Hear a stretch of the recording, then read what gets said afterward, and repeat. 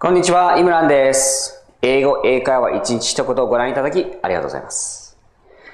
So, today is 8, no, sorry, sorry. Today is Q835.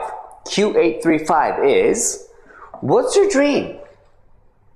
What's your dream? 3秒で答えてください。Okay. So, what's your dream?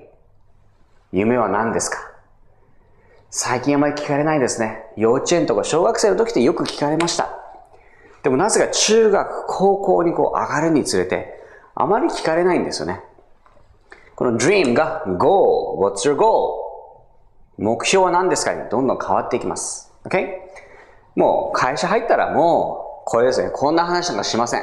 こんな話しようものなら馬鹿にされます。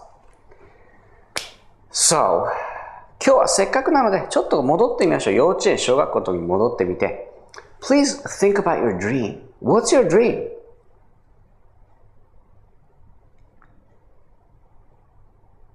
このレッスンが終わったら5分ぐらいでいいので、ちょっと考えてみてください。1年に1回ぐらいいいですよね。ちょっと夢の、夢を考えてみるのも。OK?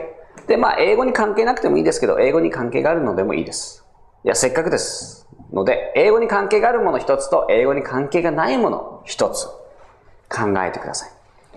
そしてぜひ、教えてください。OK?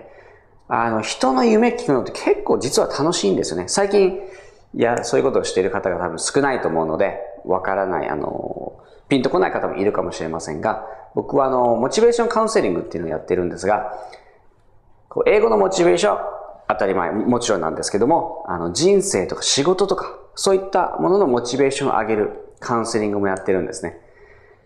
で、そうするともう楽しいんですよ、話を聞いてて。話聞くの楽しいし、その人も楽しいんですね。夢をこう、話してて。で、夢話してて、現実に戻ると、ああ、やっぱりバカみたいだったなって思うじゃないですか、普通は。でも、思わないんです。なぜかというと、まあ僕のその、えっ、と、カウンセリングというかセミナーとか受けていただくと、なんでそう思わないかっていうと、この dream、夢がですね、今の生活に落とし込めるようになるんですね。で、今の生活に落とし込めるようになると、この、この dream、まあありますよね。理想の夢が。それが、こう形を変えて、今のこの、ここに、この現実の今の生活に落とし込めるようになるんですね。で、本当はこの dream、何か価値観が実は根底にあるんですよ。価値観があるので、本当はその価値観さえ満たされればいいんですよね。でも、なので、これがそのまま叶わなくても、この価値観が満たされればいいので、僕は何をしているかというと、その価値観を見つけていただいてるんですね。で、この価値観をここに落とし込んで、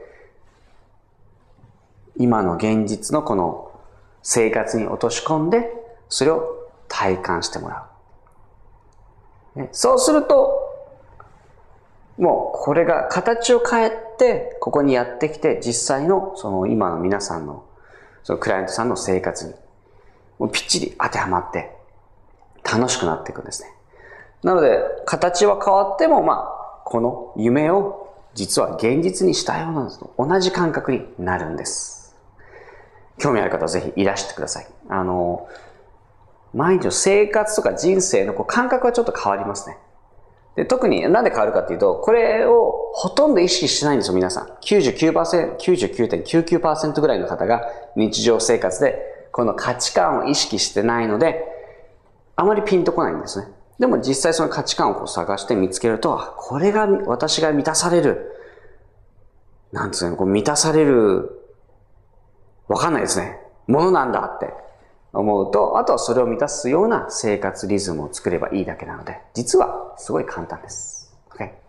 Alright, so anyway, uh, please tell me your dream, your English dream and your dream not related to English.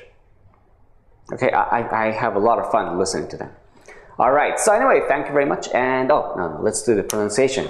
ちょっと長くなったんですが、発音やりましょう。今日の発音大事なのはここですね。your. What's your dream? What's your dream? すごく音が短いんです。What's your dream? your, okay, your です。your って伸ばさないんです。your こうです。一緒にこれやってください。your, your これが、これなんですね。your で、こうやってやると your とかこう伸ばしたりとかできないんですよ。your What's your dream? What's your dream? What's your dream? Okay? What's your dream? これをぜひ何度も練習してください。で、僕たちは your は基本的に your という短い音で発音しているので、その発音が分かって覚えられると、しっかりとリスニングができるようになります。なので、ぜひ覚えておいてください。Okay? Okay, so anyway, uh, please tell me your dreams, alright? I'll be waiting. Alright, so thank you very much, and I'll see you later. Bye.